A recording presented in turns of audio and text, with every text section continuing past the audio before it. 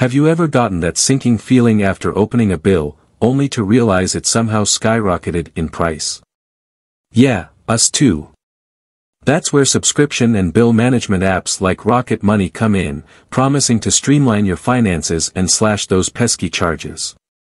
But before you jump on the Rocket Money bandwagon, let's take a critical look.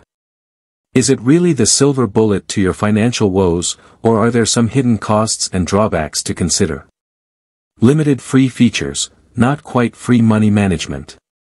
First up, the free version of Rocket Money. It might seem tempting, a chance to wrangle your finances without spending a dime. But here's the catch, the free features are pretty bare bones. You can see your account balances in one place, which is helpful, but that's about it. Forget about fancy budgeting tools, automatic bill negotiation, or even live customer support. For those, you'll need to upgrade to Rocket Money Premium. Pay to save. The controversy of bill negotiation fees. Alright, so the free version is limited. Let's talk about Rocket Money Premium and its big selling point, bill negotiation. The idea is simple, Rocket Money haggles with your service providers on your behalf, aiming to score you lower rates. Sounds great, right? Well, there are a couple of things to unpack here. First, there's no guarantee of success.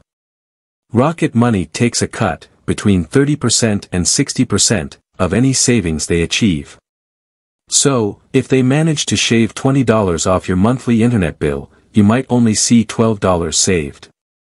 That percentage might seem steep, especially considering you can often negotiate directly with providers yourself for free.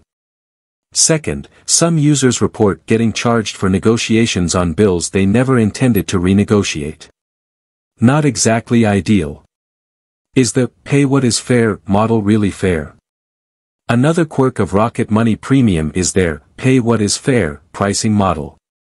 Instead of a flat monthly fee, you choose how much you want to pay. Sounds democratic, right? Well, there's a catch. The lowest tiers require annual payments, which locks you in for a year. On the other hand, opting for a more flexible monthly plan comes with a higher price tag. Hidden costs and a not-so-seamless experience.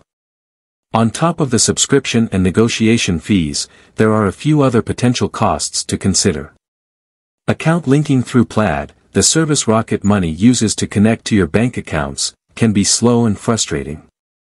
Free users also have to deal with delayed account updates, which isn't exactly helpful for real-time budgeting. Finally, canceling Rocket Money Premium can be a multi-step process, which some users have found cumbersome. So, is Rocket Money a total dud? Look, Rocket Money might be a decent option for some people.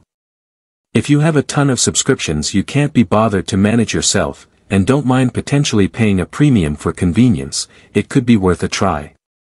But for those who are comfortable negotiating bills themselves and want a more robust budgeting experience, there might be better options out there, especially considering the limited free features and potential hidden costs of Rocket Money.